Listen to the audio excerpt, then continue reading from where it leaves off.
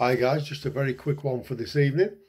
Um, just as we're we're ready to sign off for the day, really. Uh, it's a quiet Wednesday evening, and uh, we're looking forward to the weekend. Unfortunately, no live sport to go to.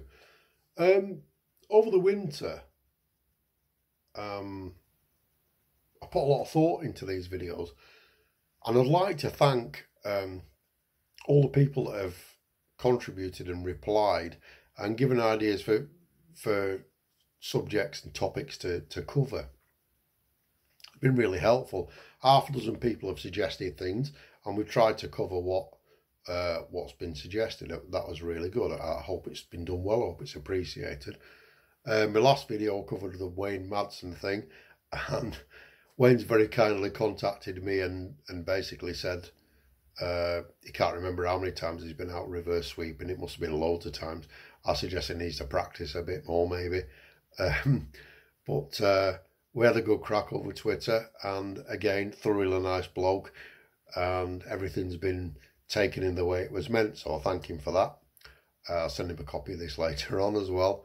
Uh, so we looked at the likely times when cricket was going to start again, and the information I've been given uh, as a prediction is that we're to be prepared to start on time.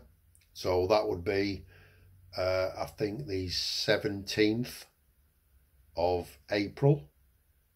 I think that's the right date. Is that the right date? I don't know, maybe maybe the 16th of April.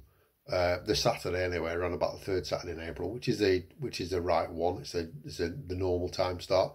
So fixture secretaries are no doubt uh, scrabbling and scraping away now to, to get fixtures ready.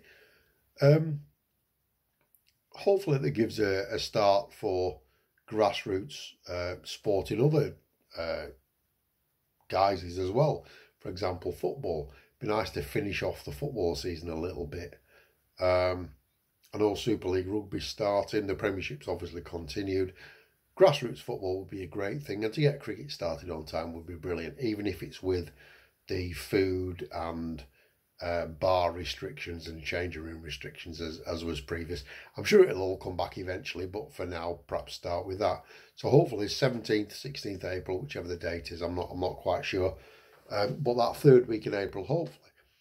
Um, now I'm hoping to do a pre-season review, which will be like a five ten minute thing of some of the local leagues, plus also maybe a, another marquee league. You know it's going to be the Huddersfield League because you know that. That's what I'm going to do. So I was maybe going to look at the Westmorland League, the Palace Shield, and the Northern League very, very briefly, not going into much detail, but just briefly, and give a few uh, pointers and predictions that, that I think may happen so far as who's going to win it and things and players perhaps to watch out for. And then hopefully on a Sunday morning, uh, to give a quick roundup of um, particularly notable games that have happened and performances. Uh, and that would be relying on the play cricket results being entered uh, in a timely fashion for all leagues. Some leagues are better than others, uh, but I'd hope to have that posted every Sunday by by noon. And if results and performances aren't aren't there, then unfortunately we're going to miss out for that week. So so we look to do something probably Friday evenings and Sunday mornings. That's how it's going to be. Fingers crossed. Fingers crossed. I'm hoping to do this, uh, time allowing and, and other duties allowing, but I, I think it'll be all right. As long as you don't want to go into too much detail.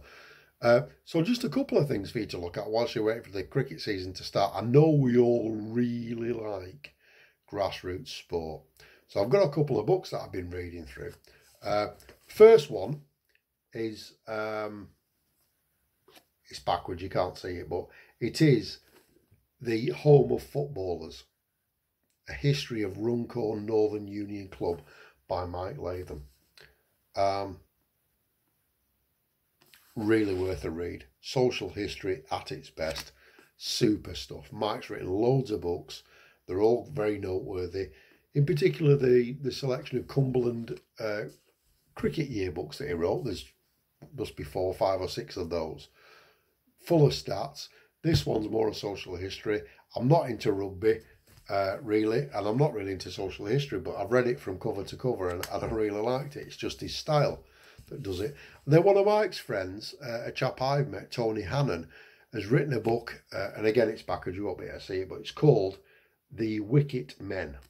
Uh, it's called The Wicket Men, and its uh, subtitle is The Last Rites of Minor Counties Cricket. Now, what happens in this book is Tony uh, talks about Cumberland Cricket Club, and then later on in the book, he goes on to, to local leagues uh, and the description of a tour of the the Cumbria area and local league cricket that he did in conjunction with Mike. Very, very readable book. It, it, absolutely astonishing. Um, I'm not at all biased by the fact that I appear in it, but uh, I do a little bit. But it, it's a great read. Again, written with great humility, no hubris at all, just wonderful humility, brilliant descriptions of grounds, places, people, and again, social history. Two great books for you to look at before the season starts. I've got my copies. Everyone's going to want to borrow them. You can't, they're mine. Uh, so you need to buy your own. So you've got The Wicket Men by Tony Hannon and The Home of Footballers, A History of Runcorn Northern Union Club by Mike Latham. Highly recommended. Smashing books, brilliant authors, and just nice guys. Something for you to chew on, uh, and hopefully you'll uh, be uh, striding out on the uh, third Saturday in April.